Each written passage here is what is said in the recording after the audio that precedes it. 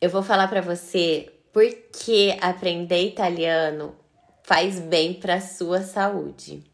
Primeiro, aprender a falar um novo idioma, principalmente italiano, estimula o seu cérebro, promovendo o desenvolvimento cognitivo, melhora a memória, a concentração e o raciocínio, raciocínio lógico. Além disso, vários estudos mostram que estudar italiano ajuda a prevenir doenças degenerativas como Alzheimer. Segundo ponto, falar italiano faz com que você se conecte com os italianos, se conecte com pessoas de culturas diferentes e outros brasileiros também que, como nós, somos apaixonados por esse idioma.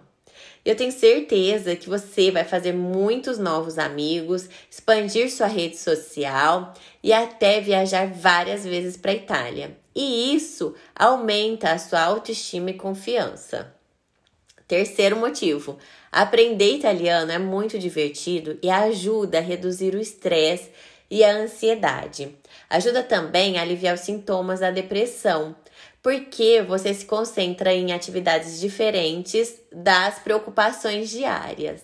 Além disso, você tem outras atividades divertidas para aprender, como assistir a filmes em italiano, ler livros, poesias em italiano, ouvir músicas italianas, cozinhar receitas da gastronomia italiana.